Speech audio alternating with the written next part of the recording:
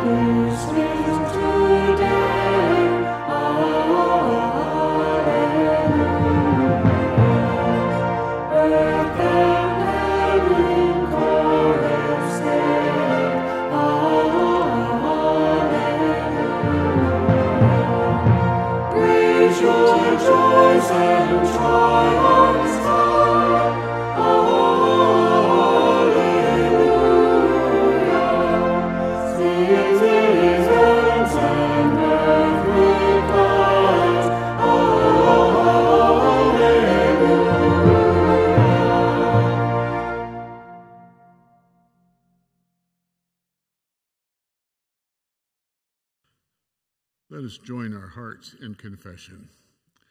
This is a day of celebration, and nothing should prevent us from lifting our voices in praise to God. We must not hide the things we have done or failed to do, the things that do not imitate the perfect love of Christ. We must not let them fester and stifle our joy. Therefore, let us bring them before God in confession. Resurrected Christ, there is nothing we can do to deserve the grace you give us. There is no way we can earn your love. There is no way we can be worthy of your forgiveness. And yet you shower these mercies on us. You have taken away the sting of death. Meet us where we are in our doubt and fear, in our regrets and shame, in our delight and awe. Meet us here in this place and call us once again to trust in you. God says to us, I have loved you with everlasting love. Therefore, I have continued my faithfulness to you. Christ says to us, Do not be afraid. We need not be afraid. We are forgiven. We are loved. We are redeemed. Alleluia. Our first lesson today is found in Psalm 118, verses 1 and 2, then 14 through 24 from the Message Bible. Thank God because God is good, because God loves God's love never quits. Tell the world's people God's love never quits. I was right on the cliff edge, ready to fall when God grabbed me and held me. God is my strength. God is also my song. And now God is my salvation. Tell the world, people, God's love never quits. Do you hear the shouts? Hear the triumphant songs in the camp of the saved. The hand of God has turned the tide. The hand of God is raised in victory. The hand of God has turned the tide. Tell the world, people, God's love never quits. We didn't die, we lived. And now we are telling the world what God did. God tested us, pushed me hard, and didn't hand me over to death. Swing wide the city gates, the righteous gates. I'll walk through and thank God. Tell the world, people, God's love never quits. Thank you for responding to us. You've truly become our salvation. The stone the masons discarded as flawed is now the capstone.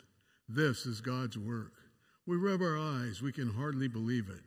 This is the very day God acted. Let's celebrate and be festive. Salvation now, God, salvation now. Oh, yes, God, a free and full life. Tell the world, people, God's love never quits.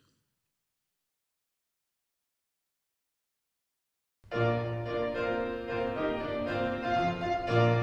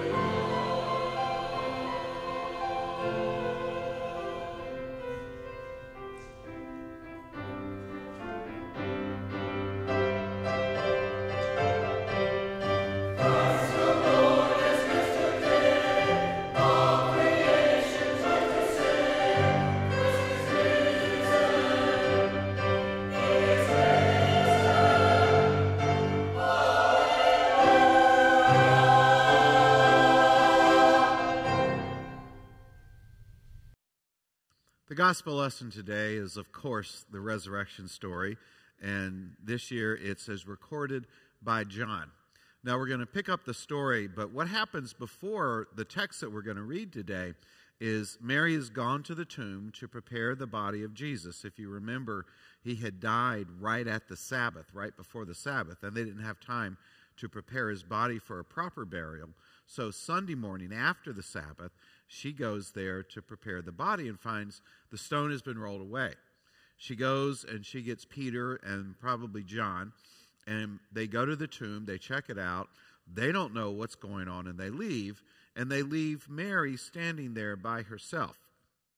And this is where we pick up John 20, chapter 11. But Mary stood weeping outside the tomb, and as she wept, she bent over to look into the tomb. And she saw two angels in white sitting where the body of Jesus had been laid, one at the head and the other at the feet. And they said to her, Woman, why are you weeping? She said to them, They have taken away my Lord, and I do not know where they have laid him. And when she said this, she turned around and saw Jesus standing there, but she did not know it was Jesus. Jesus said to her, Woman, why are you weeping? Whom are you looking for? Supposing him to be the gardener, she said to him, Sir, if you've carried him away, tell me where you have laid him, and I will take him. Jesus said to her, Mary. She turned and said to him, to him in Hebrew, Rabboni, which means teacher. Jesus said to her, do not hold on to me, because I have not yet ascended to the Father. But go to my brothers and say to them, I am ascending to the Father, and that your Father to my God and to your God. Mary Magdalene went and announced to the disciples, I have seen the Lord. And she told them that he had said these things to her. The word of God for the people of God. Thanks be to God. There was once a poor tailor from Krakow, Poland, who had a dream one night that there was a treasure buried under the Fifth Avenue Bridge in Warsaw, Poland. And being a faithful man and believing that God spoke through dreams, he decided that he would travel to Warsaw and dig under the bridge to see if he could find the treasure. He makes the long, arduous trip there, and he gets to the Fifth Avenue, Fifth, Fifth Street Bridge, and there's a guard at the bridge. And the guard stops him and he says, What are you doing? And he says, I'm uh, from Krakow and I had a dream that there was a treasure under the Fifth Street Bridge in Warsaw. And so I've come to dig it up. The guard laughed. Ha! He said, Ha! Dreams. I don't believe in dreams. He said, I had a dream that there was a treasure hidden on the floorboards of a house of a poor tailor in Krakow. Do you think I'm going to go all the way there and dig it up? The tailor realized that this was a sign for him, and he goes home, lifts the floorboards of his house, and finds a treasure there. The treasure he had been looking for all his life had always been right under his feet. Have you ever had that happen to you where you're looking for something and it's right under your nose? I had somebody come in to me once with their glasses on their head and they looked frantic and said, Have you seen my glasses?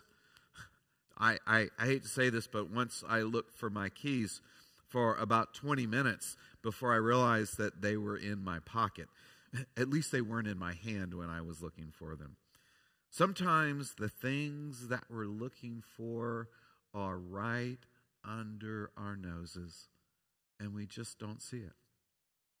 During the sermon series, we have talked about looking for love, and we've talked about looking for love in all the wrong places. We all seek love, we all want love, we all want to be loved, and there's a part of all of us that wants to love, to love another person. Not just in a romantic sense, but in a much broader sense to care for, to have concern for, to encourage, to be with another person. We, we all have that.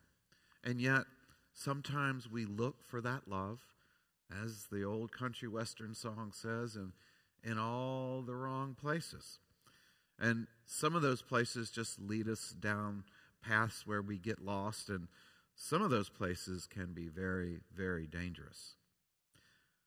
We're looking for love. And during this sermon series, I've also been trying to tell you where we find love. We find love in, in the heart of God.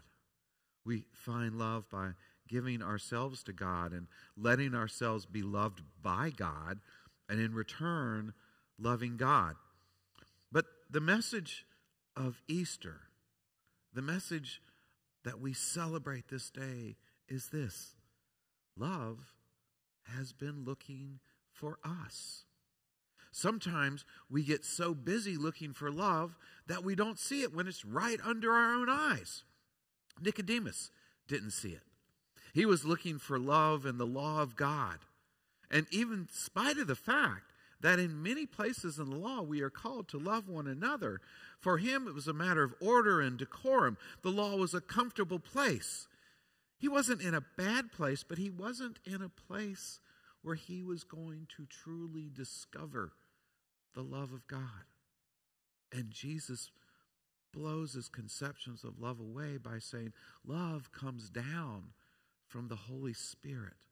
The Spirit blows where it will, and you won't always find the Spirit in a book. The people who waved the palm branches as Jesus came in on Palm Sunday were looking for love. But for them, they were looking for the love of God to come to them in a political figure who would throw out the Romans and let them reestablish their nation as a well respected nation among nations that God would once again take seat on the throne through a king, through a ruler, through Jesus. And they saw Jesus as this revolutionary leader who would bring them back to their former glory as a kingdom that they could take pride in. Of course, we all know that it didn't work out that way. And that when Jesus came in on Palm Sunday, his throne ended up being a cross and his crown was a crown of thorns. Jesus came to serve and not to rule. He came to love, not to lord his power over people. Now, Mary Magdalene from today's story was looking for love.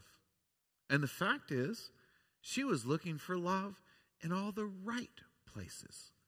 She was looking for love in Jesus in the words of Jesus. When, when she does finally recognize him, she says, Rabboni, which means teacher, which is kind of incredible because women weren't allowed to be students of rabbis in those days. But Jesus was her teacher. She was looking for love in the actions of Jesus. She was looking for love in the tender eyes, the unconditional love, the acceptance, and the encouragement that Jesus gave to her. And she was looking for love in giving her love to Jesus. But what happened? Jesus comes into Jerusalem, supposedly to reign in glory forever from a throne, and instead, everything got cut short. He's arrested, thrown on a cross, then thrown into a grave. Mary was looking for love in the right places. Where did it go wrong? Was she wrong to put her trust in Jesus? Was she wrong to give her life to him and to his message? Were the last three years just a waste of time?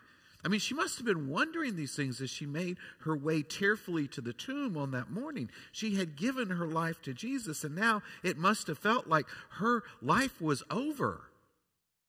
Did she look for love in the wrong place? Was it a mistake to put her trust in one man like that?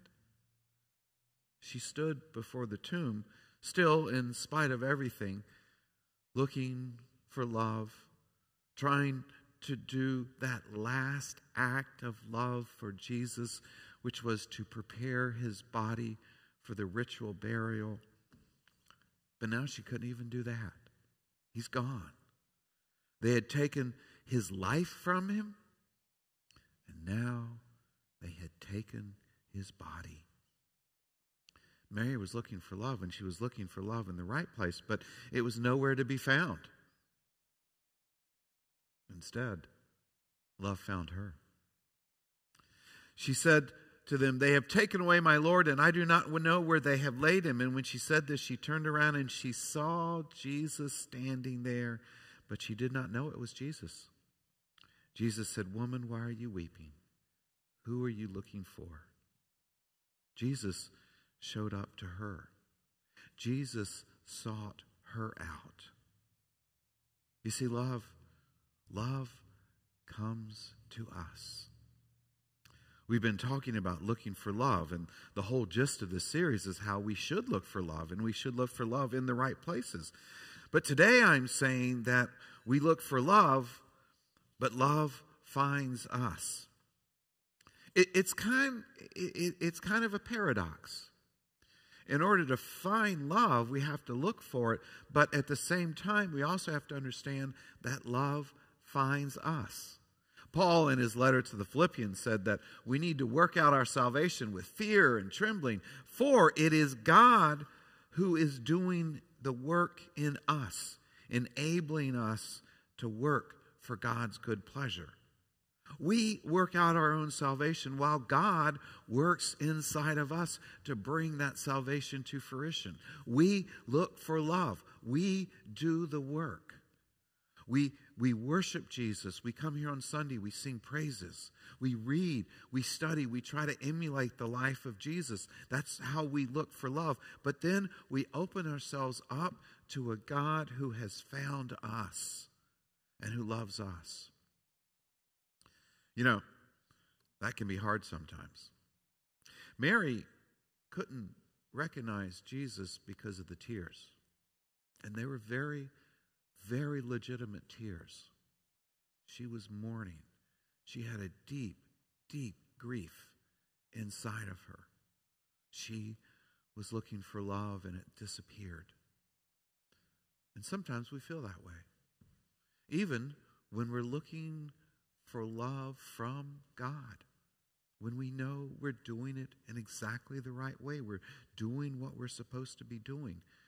And then there are times when it seems God is gone. God has disappeared. God is no longer there. But God doesn't disappear. Sometimes we can't see the acts of God, the love of God through the tears that we experience when we feel like we've missed something of God. But God is there. Sometimes we just have to open our eyes and see what God is doing in spite of our pain and in spite of our grief.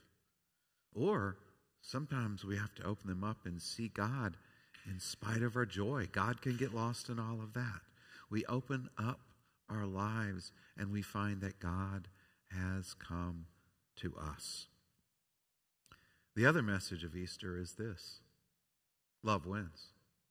Love always wins. It may not seem it like that all the time. I'm sure it did not seem like that to Mary when she was making her way to the tomb, for it looked every bit like hate had won and had destroyed the one who came to teach us to love. But did it? Did it? It did not. Now, sometimes we have to wait more than three days to see love overcome. But we know it will. We know it will. Years ago, when I lived in North Carolina, there was a big basketball game clearly a Duke basketball game on TV. And I had a church meeting, unfortunately, that I had to be at. We'd invited some friends over our house to watch the game. And uh, my wife was there with these friends, and they were watching the game. And I was at the meeting, and I finally got out, and I was driving home. And um, I heard the game on the radio. And so I heard the tail end of the game. And I walk into the house, and I see that the game is, and, and, and Duke won the game. It, it, it, it, it was close. It looked like they were going to lose at one point, but Duke came back and they won the game. And I go into the house and I see them huddled in front of the TV watching it nervously. And I'm, what's going on? And they said, This has been a terrible, this has been horrible. It's, it's so close, we don't know if Duke's going to win or not. And I almost said, They just won. But I realized that for some reason, and later I found out that some political event had happened. I think the president made a speech, and it delayed the broadcast of the game by 30 minutes. And so what I heard was the live version, and they were watching the tape delayed version, so they were 30 minutes behind. They didn't know how it turned out, and it looked like Duke was going to lose. I knew otherwise. I knew otherwise. I didn't say anything, I didn't ruin it for him, but I knew how it was going to turn out. And in the resurrection, we know how it's going to turn out. Love will win. Love is risen with Christ. It may not look like it at times. And as we look around, oh my gosh, it looks like love is not winning. But it will. Just as surely as Christ rose from the grave, so will love win. Christ is risen. He has risen indeed. Amen. Let us turn to God together. Oh, Heavenly Father, when we're down here trying to work our way through the mess of life that surrounds us, sometimes it seems like love is not going to win. Sometimes it seems like hate has the upper hand.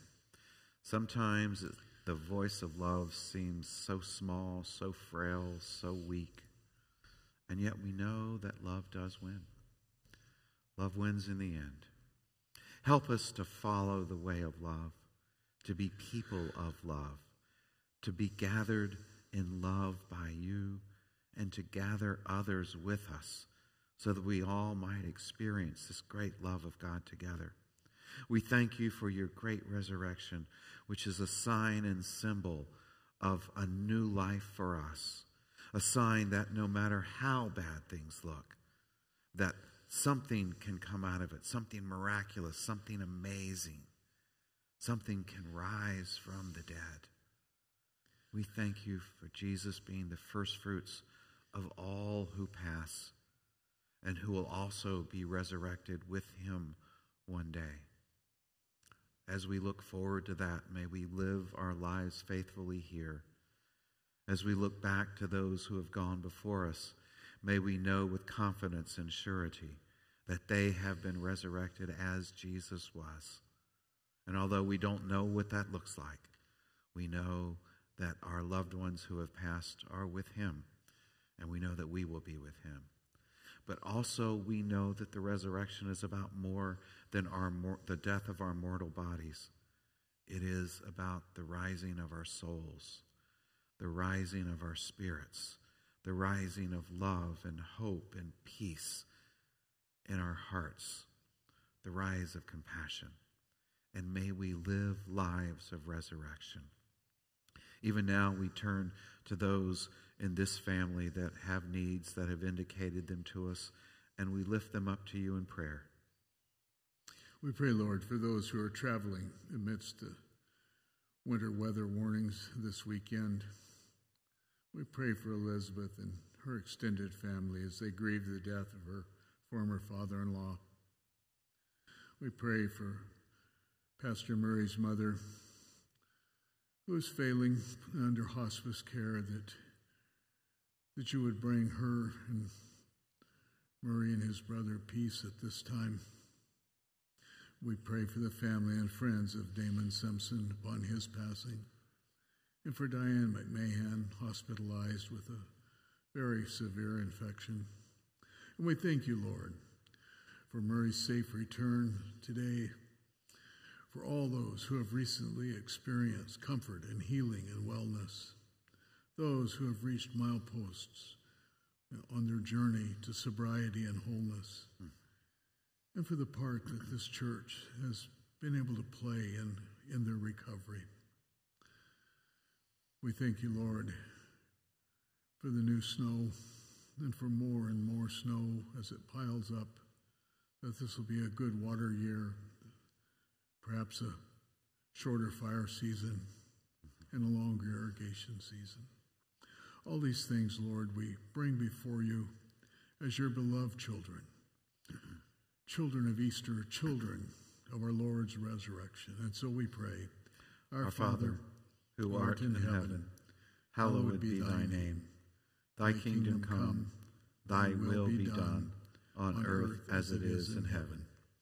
Give us this day our daily bread, and forgive us our debts as we forgive our debtors. And lead us not into temptation, but deliver us from evil. For thine is the kingdom, and the power, and the glory forever. Amen. In the gift that Christ gave to us at Easter, Christ gave his all. He gave his body to be crucified. And Christ calls us to give. Maybe not our all just as he did, but Christ calls us to give our hearts and souls. And one of the ways that we show that we have done it is by giving tangible things. We don't give in abstract, we give in reality.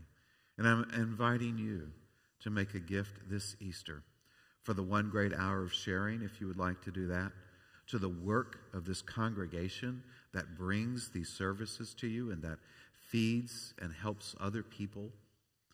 If you want to give out of your heart, if you want to see the resurrection in your own life, I ask you to give freely as Christ impels you, to open up your hearts to give as Christ calls.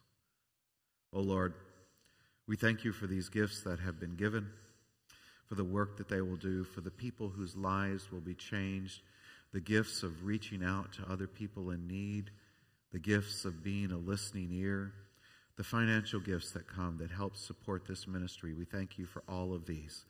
And we pray that you accept them and use them for your glory and your kingdom now and forever. Amen. Christ is risen. He has risen indeed. Go with Easter hope. Go with the love of God in your hearts. And may the love of God fall upon you like a soft summer rain. May the grace and forgiveness of Jesus surround you like the air you breathe. And may the power of the Holy Spirit work in and through you now and forevermore. Amen.